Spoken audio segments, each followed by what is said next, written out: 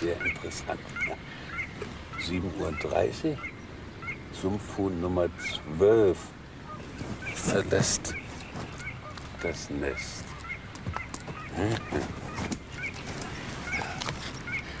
Psst, nicht stören. Naturwissenschaftliche Feldforschung. Ich bin nämlich hier als Beauftragter des Bärstädter Umweltamtes. Es geht um die letzten Exemplare des rot getüpfelten Sumpfhuhns. Ja. Da drüben, auf der Hühnerinsel, da leben sie. Und ich beobachte sie. Rund um die Uhr. Das ist ein ziemlich verantwortungsvoller Posten, aber auch mühsam. Wenn ich sie nur direkt beobachten könnte, diese seltenen Vögel, aber so aus der Ferne. Na ja, sicher. Ich darf als Einziger auf die Insel. Aber ein paar Mal am Tag hin und her rudern, das ist nichts für mich. Der Umweltmensch sagte, ja lustig, nehmen Sie doch Ihren Bauwagen und ziehen Sie auf die Insel. Das wäre natürlich ein Traum. Eine Insel ganz für mich alleine. Aber wie soll der Bauwagen auf die Insel kommen? Es gibt ja noch nicht mal eine Straße hier zum Ufer. Ein Fährschiff gibt es auch nicht. Und der Bauwagen kann nun mal nicht schwimmen. Ja, wenn er fliegen könnte. Das äh, Fliegen. Fliegen. Ja, warum eigentlich nicht? Er könnte doch fliegen. Ich habe da schon eine Idee.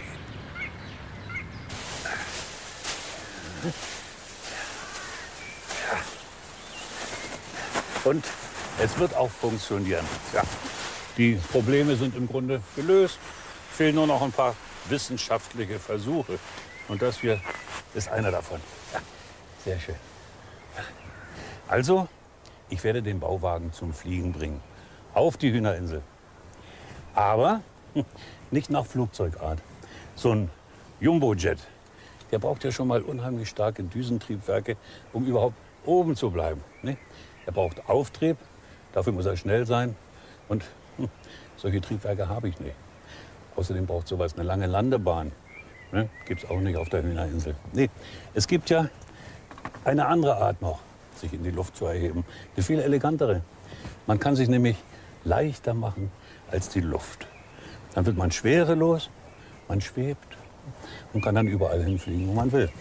Was macht denn inzwischen meine Wurst? Aha, sie ist größer geworden, weil nämlich die Sonne drauf schien und die Luft da drin hat sich erwärmt und hat sich ausgedehnt. ich hab's geahnt. Und genauso werde ich meinen Bauwagen zum Fliegen bringen. Äh, kommt mal mit. Noch ein Versuch. Ein Luftballon. Ja, den lege ich jetzt mal ins Wasser und ja, er geht unter. Logisch, Gummi ist schwerer als Wasser. Jetzt aber werde ich etwas Luft hineinblasen. Ja, etwa so. Aha, sehr schön. Jetzt ist er noch genauso schwer wie vorher. Aber er schwebt. Er schwebt im Wasser, weil er nämlich ein bisschen größer geworden ist. Und das ist der Trick. Damit werde ich auch meinen Bauwagen zum Fliegen bringen. Aber zugegeben, der Trick ist nicht von mir. Den habe ich von einem Plattfisch namens Bertha Butt. In der Nordsee lebte einmal eine Scholle namens Bertha. Wie alle Schollen war sie dunkelbunt getüpfelt und trug beide Augen auf einer Seite, nämlich auf der oberen. Ich sollte vielleicht noch sagen, dass Bertha ein Plattfisch war. Von der Seite sah sie, naja, eben platt aus. Ihr Bauch war weiß und beide Augen trug sie sozusagen auf dem Rücken. Das war sehr praktisch, denn normalerweise lag Bertha gut getarnt flach auf dem sandigen Meeresboden und schaute nach oben. Nach Nahrung oder nach anderen Fischen, die sich im flachen Wasser tummelten. Und äh, dabei wurde sie manchmal neidisch. Fast alle anderen Fische konnten sich viel eleganter bewegen als sie. Wie ein Aufzug konnten die anderen im Wasser einfach auf- und abtauchen oder einfach schwerelos stehen bleiben. Während sie mühsam nach oben spattelte. Dauernd musste sie ihre Flossen bewegen, sonst würde sie langsam aber sicher wieder absacken. Tja, der Hering, das wusste sie, hatte etwas, das ihr fehlte, eine Schwimmblase. Eine Art kleiner Luftballon im Bauch. Sehr praktisch. Wenn er Luft hineinpumpte, stieg er nach oben. Ließ er die Luft wieder raus, sank er automatisch tiefer. Ja, und bei halber Füllung schwebte er einfach, ohne sich anzustrengen.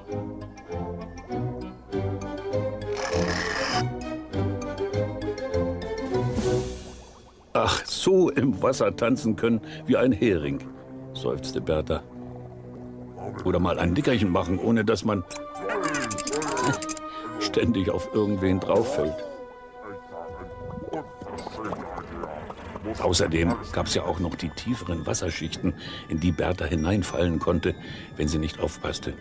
Da unten war es auch am Tage dunkel und allerhand zwielichtige Gestalten trieben sich da herum. Und dann der Wasserdruck. Bertha musste sich die Ohren zuhalten und wurde noch platter, als sie sowieso schon war. Ja, es war mühsam, ein Plattfisch zu sein, bis eines Tages Bertha in der Nähe des Strandes etwas Seltsames sah einen kleinen Gummiball, den Kinder wohl vergessen hatten und der auf der Wasseroberfläche tanzte. Bertha hatte eine Idee. Sie zog den Ball hinunter, nahm allen Mut zusammen und verschluckte ihn. Naja, jetzt war sie nicht mehr die Schlankste, aber sie schwebte. Einfach so, ohne die Flossen zu bewegen. Sie musste nur ab und zu den Gummiball zusammendrücken. Dann sank sie etwas, ließ sie ihn los, stieg sie auf. Jetzt endlich konnte sie mit dem Hering und den anderen Fischen tanzen.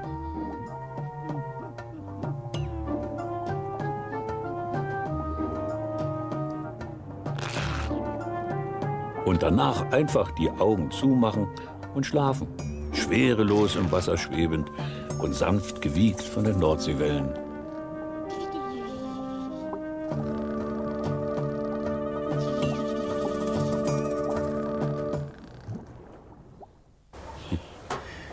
Genauso schwebt jetzt der Luftballon in meinem Aquarium. Er ist jetzt nämlich genauso schwer wie das Wasser, das er verdrängt. Das ist der Trick. Das Schöne ist nun, das funktioniert nicht nur im Wasser, sondern auch in der Luft. Meine Plastikwurst, oho, schon größer geworden, nicht? Ja, die durfte ungefähr na, so 100 Gramm wiegen, nicht, der Kunststoff. Und die Luft, die sie verdrängt, das müsste auch Etwa, ja, etwa 100 Gramm wiegen. Na, dann müsste doch meine Plastikwurst. Ja, ja. Und sie hebt sich tatsächlich da. Sie steigt. Es klappt. Mhm. Wie ein Korken in der Badewanne geht sie nach oben. Ja, wenn das so ist, dann könnte doch meine Warmluftkonstruktion ja, noch was mitnehmen. Zum Beispiel das hier. Ja. Hey, hey, hier geblieben. So. Ja. Ja. Ja, es klappt. Ja. So wie damals bei den Gebrüdern Montgolfier. Mhm. Na, die machten ein Strohfeuerchen unter einem hübsch bemalten Ballon und die warme Luft hob das Ganze in die Höhe. Mit den Erfindern. Und das habe ich auch vor. Denn äh, schwerelos muss man die Dinge machen. Ein Luftschiff ist die eleganteste Art und Weise, etwas Schweres zu transportieren. Ja. Und es heißt Luftschiff, weil es nämlich auf der Luft schwimmt, wie ein Schiff im Wasser. Ja, ja, naja, meistens jedenfalls. Aber naja, das ist ja nur ein Prototyp. Man wird das Ganze noch sehr viel größer gestalten müssen und vor allen Dingen lenkbar. Nicht das, hoppala, ne, das wird schon. Ja, immerhin hat es ja früher auch schon sowas gegeben. Da hieß es Zeppelin. Naja, diese fliegende Wurst hier war noch kein richtiger Zeppelin, aber immerhin ein Luftschiff. Hatte auch schon einen Motor. Ja, und dann ging's los. Man gab den schlappen Leinwandhüllen innerlich Stützen, machte die fliegenden Zigarren aerodynamischer und baute stärkere Motoren dran. Viele mutige Luftschiffer flogen damals herum und fielen auch schnell wieder runter. Bis der Graf Zeppelin, das ist nun schon über 100 Jahre her, der Wurst ein Skelett verpasste. Aus Aluminium. Damit bekam das Ganze sozusagen stabile Knochen. Es wurde gefüllt mit Wasserstoffgas das funktionierte viel besser als warme Luft, war aber auch gefährlicher, wie wir noch sehen werden. Na jedenfalls war das Luftschiff jetzt erwachsen geworden. Es war verlässlich und groß genug, um Passagiere zu befördern. Es bekam überall passende Garagen gegen Wind und Wetter und flog kreuz und quer durch Europa, über den Atlantik und sogar nach Afrika und Südamerika. Überall blickten die Menschen staunend nach oben. Aber auch die Passagiere staunten nicht schlecht. Über die Bordküche, über das luxuriöse Restaurant und das Musik- und Raucherzimmer. Verspätungen gab es nur bei starkem Wind. Dann, wenn die Bodenmannschaften die Riesenzigarren nicht richtig in den Griff bekamen. Aber dann, 1937, passierte es. Das Luftschiff Hindenburg fing bei der Landung in Amerika Feuer. Wasserstoff ist leicht entzündlich. Der Zeppelin stürzte ab und viele Menschen starben. Das war das Ende der Luftschifffahrt. Nee, Wasserstoff kommt mir nicht in Frage. Ja, hier. Ja, Warmluft. Bringt doch auch. Ist zwar nicht ganz so leicht wie Wasserstoff, aber warme Luft kann nicht brennen. War ja damals ein furchtbarer Rückschlag für die Luftfahrt. Aber heutzutage gibt es Gott sei Dank lustiges Luftschiff Konstruktionsbüro. Ja. Hier meine neueste Entwicklung. Ein Heißluftschiff mit solargetriebenem Motor. Das gute alte Prinzip der Schwerelosigkeit, aber gleichzeitig ist das Ding lenkbar und steuerbar und umweltfreundlich. Ja. Natürlich zugegeben, so ganz neu ist die Idee auch wieder nicht. Da kenne ich nämlich ein paar Sportler, die fahren im Morgengrauen raus, starten einen Ventilator und blasen Luft in einen langen Schlauch. Nach 20 Minuten so etwa ahnt man schon, das wird ein Luftschiff. Mit Gasbrennern wird dann die Luft da drin aufgeheizt. Das Ding hebt sich und auf geht's. Elegant und lautlos schweben die beiden jetzt über der Landschaft.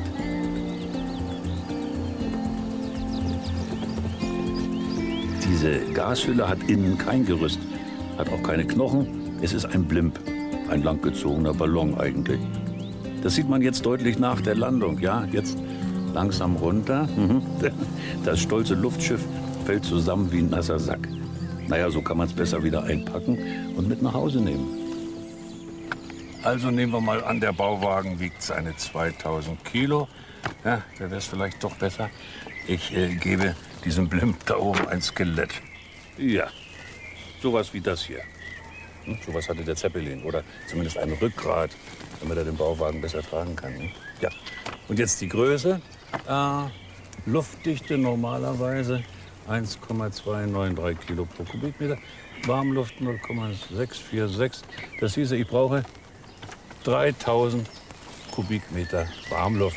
Das wiederum bedeutet, oh oh, das heißt, diese Wurst müsste 150 Meter lang sein.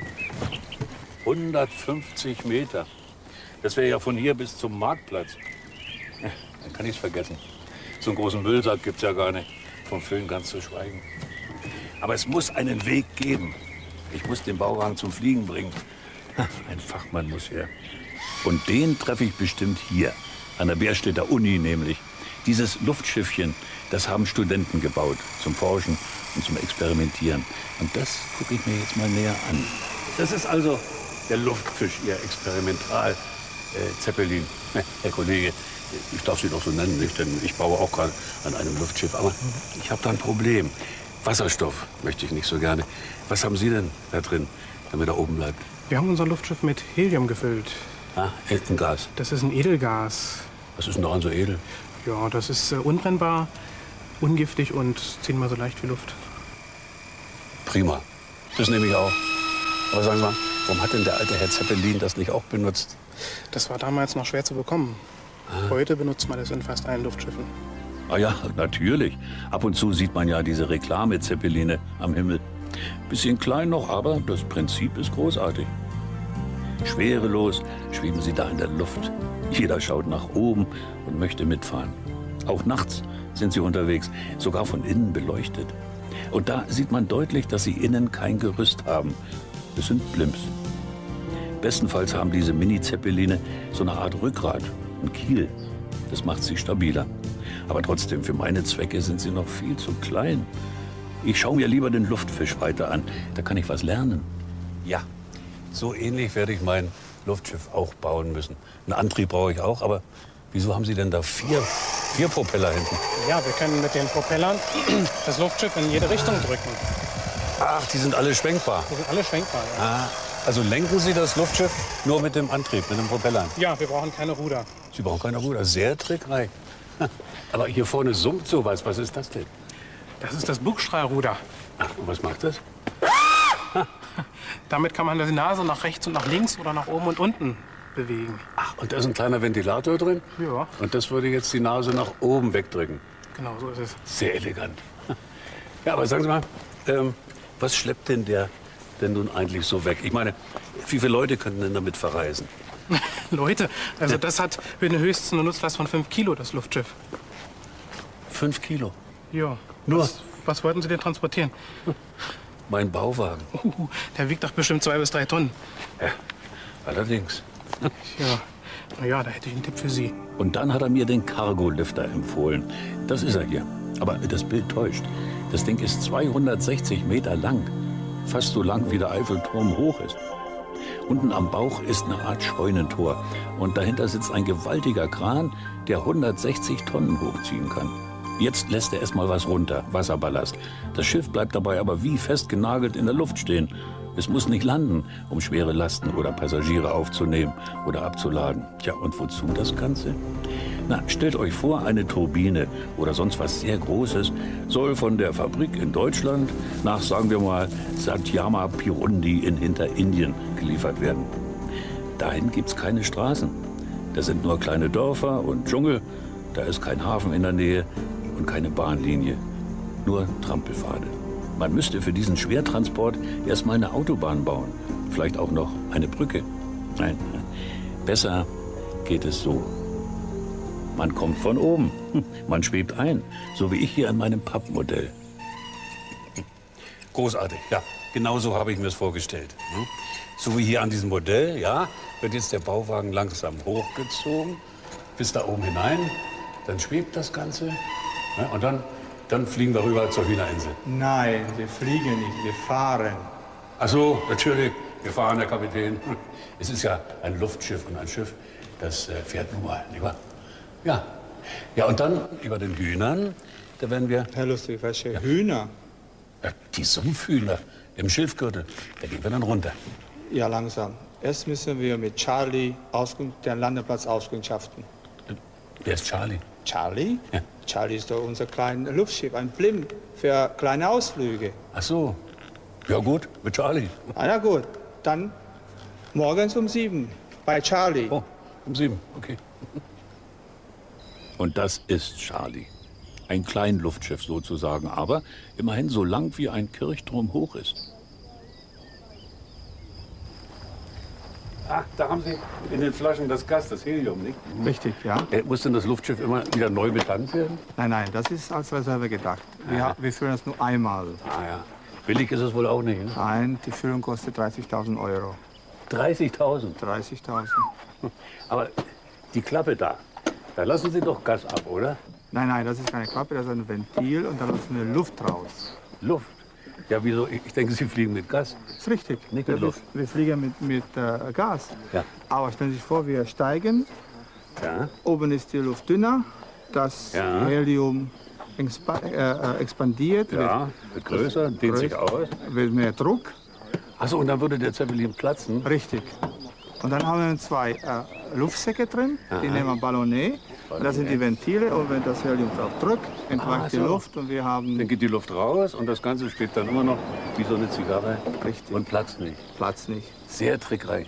Ja. Ah, sehen Sie mal. Das Rad schwebt in der Luft. Also schwebt der ganze Zeppelin in der Luft. Ist schwerelos. So. Dann könnte ich ihn auch. Ja. Ich kann ihn heben. Tonnen. Ja. Ja, die Bodenmannschaft bereitet schon alles vor für den Start. Sandsäcke korrigieren das Gewicht, damit das Ganze in der Schwebe bleibt. Ja, und dann geht's los. Die Nase wird in den Wind gedreht.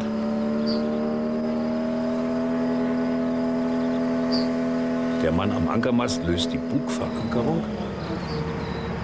Ja, jetzt das Ganze schön waagrecht halten.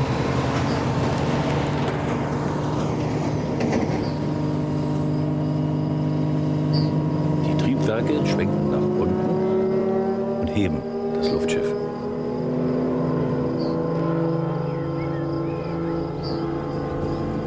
Ja, die können jetzt Kaffee trinken gehen.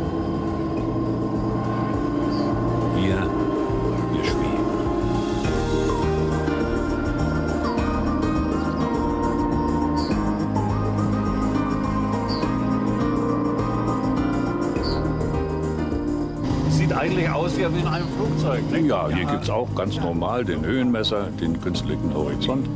Aber hier lenkt der Pilot zumeist mit den Triebwerken.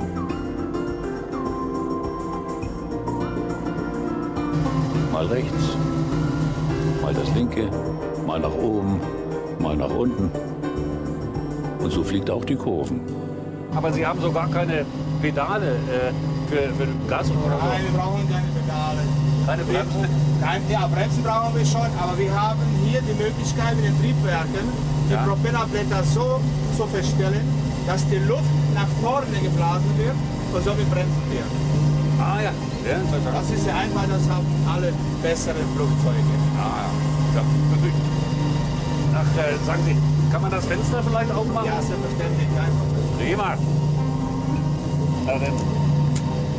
Ah. Ja, ja da, da ist sie, die Hühnerinsel. Ah, Ja, sehr schön. Jetzt, jetzt ganz, ganz langsam und leise. Geht es leiser? ja, wir machen es leiser. Sie müssen wissen, Sumpfhühner sind sehr steckhafte Tiere. Ja. Ja, wo sind sie denn nun, die Sumpfhühner? Da. Moment. Ja, da, da ist ein. Sehr interessant. Sehr, ja, fabelhaft. Von hier oben kann ich die Sumpfhühner ja viel besser beobachten als von unten, vom Schilf her. Ja. Die sehen mich nicht und ich störe sie nicht. ja. ja, so gesehen und auch wenn man bedenkt, dass es da unten ja keinen Bäcker gibt für die frischen Brötchen morgens, nicht? So gesehen möchte ich eigentlich gar nicht mehr umziehen mit dem Bauwagen und allem, nicht? Ich könnte doch regelmäßig mit Charlie immer hier drüber fliegen und die Sumpfhühner beobachten. Das wäre auch besser für die Hühner, nicht? Und das ließe sich machen. Ja, das können wir machen. Ihr seht ja, ich habe zu tun, also abschalten, ne? Ja.